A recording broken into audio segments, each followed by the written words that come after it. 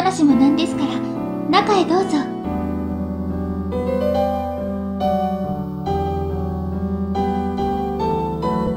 そうですね。いろいろありましたから。目の前でたくさんの人の命が消えていくのを見ました。私も少し疲れちゃいました。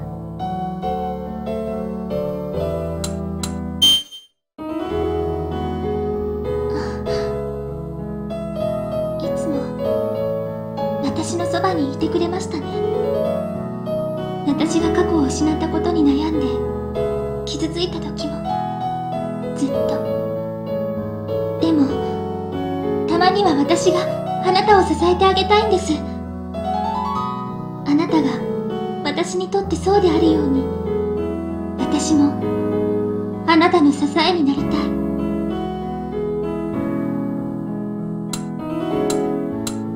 本当に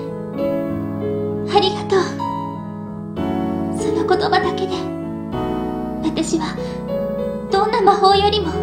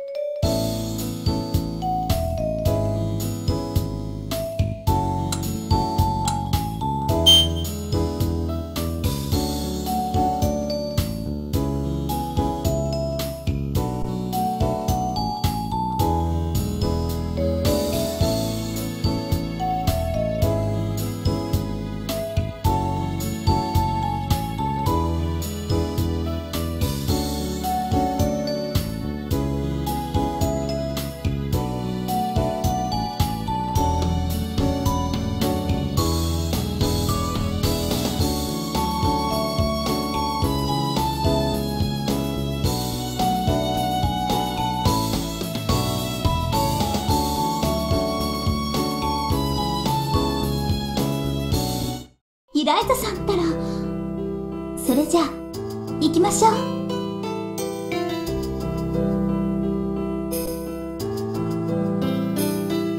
あなたがここに連れてきてくれてからなんですよね。私が絵を描いてみようと思ったのは。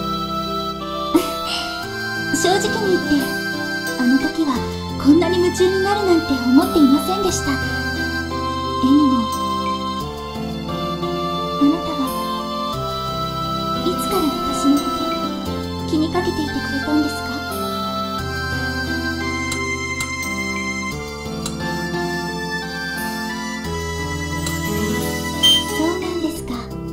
私ははっきりしていますよ。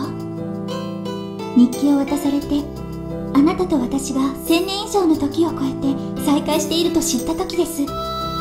その時まではあなたのことがどうしてこんなに気になるのか自分の気持ちが分かりませんでした。でもその真実を知ってあなたへの気持ちが懐かしさと恋心だって気づいたんです。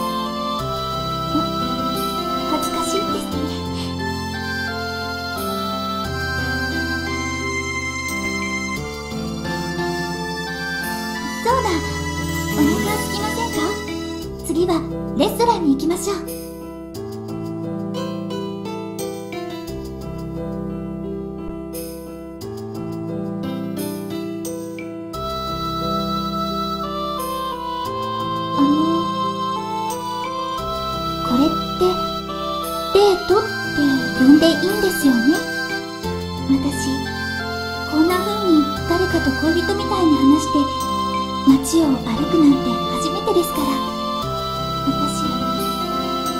たの恋人って言っていいんですか？恋人。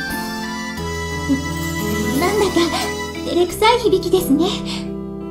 けれどとても嬉しい響きです。フレーネはあなたの恋人ですよ。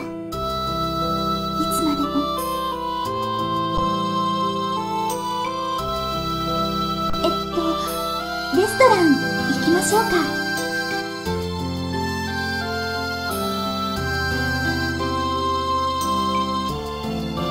私戦争を何度も見てきてこんな風に美味しい食事ができるのってとても幸せだと思ったんです。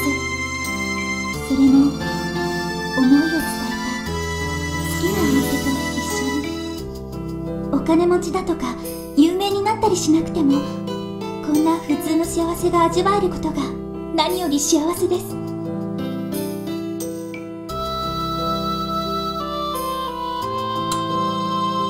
はい。あなたが望むなら私はどこにだって一緒についていきます。でも私はあなたみたいに足が速くないし体力もありませんから遅れそうになったらさいね。あなたに呼ばれたらすごく元気が出るんです。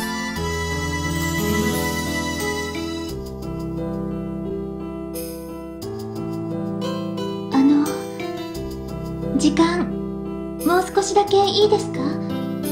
付き合ってほしいところがあるんです。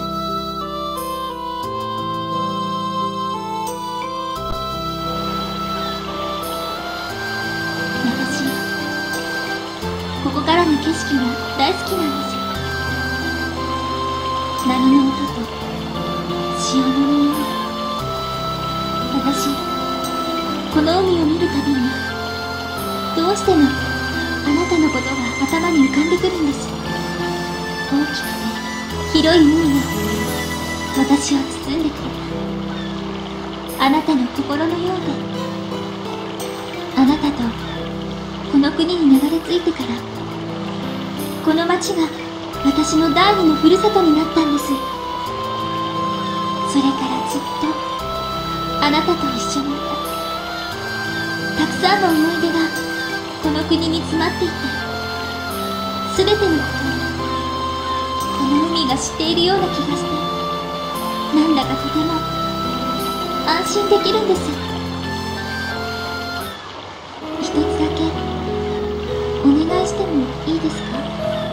魔法消去が終わったらこの海を背景にしてあなたをあなたの絵を描かせてください。私の愛する人私の手でこの海の広さと一緒にキャンバスに描きたいんです。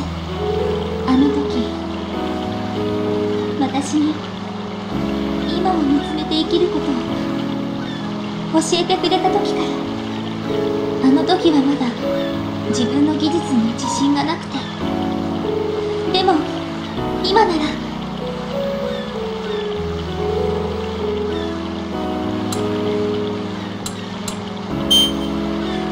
ありがとうございます。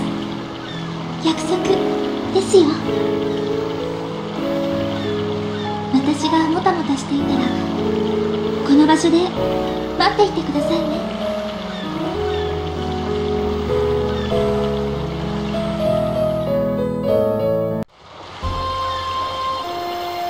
あらお久しぶり。こっちに戻っていたの？イライザ様お久しぶりです。今アリシア様の報告が終わったところです。それはお疲れ様。お互い戦争が終わってからの方がしくなっちゃったわね。今夜は屋敷に泊まるんでしょ？はいその予定です。それじゃあその時にゆっくり話しましょう。またね。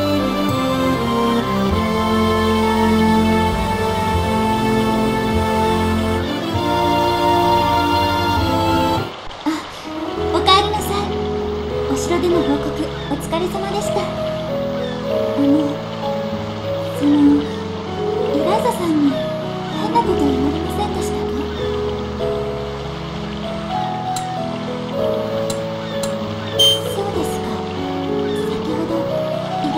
と少し話したのですがその言われたんです。新婚旅行はどうだったって。あもちろんからかわれただけだって分かっています。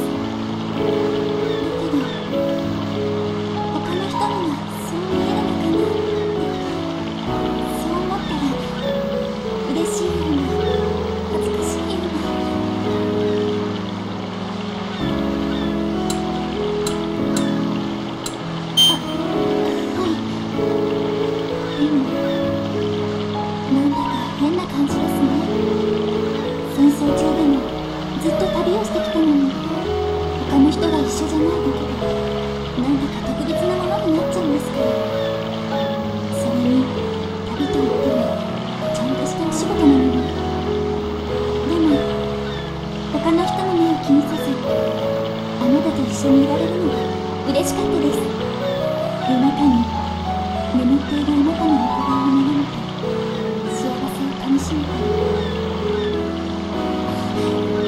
今のは忘れてください自分でしたとにかく行きましょうか。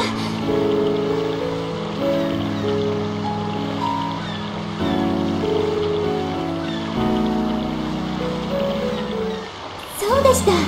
屋敷に行く前にゴルドランさんに会ってもいいですか？旅先で描いた絵を渡しておきたいので。そういえばここに戻ってきたんだから。そろそろ約束を果たしてくださいね。あなたの絵を描かせてくれるって約束。心配しないでください。絶対にかっこよく描きます。だってその最愛の人なんですから。